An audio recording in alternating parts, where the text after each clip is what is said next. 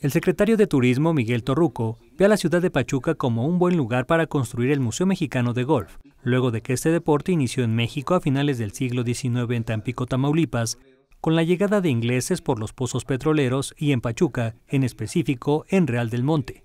Torruco Márquez asistió este 20 de febrero a la conferencia de prensa previa al Campeonato Mundial de Golf México 2019. Así que ahorita se me estaba ocurriendo decirle eh, sobre la remembranza de la historia del golf y próximamente estaré allá en, Pachuca Hidalgo en una gira de trabajo con el gobernador Fayad.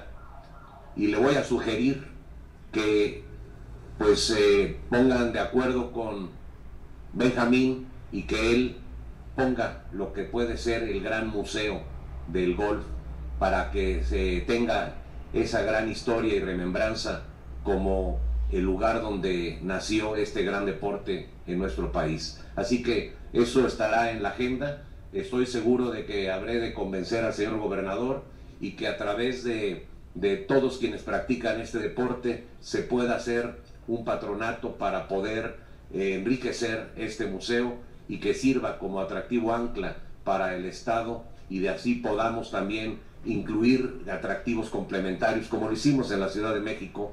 Notimex.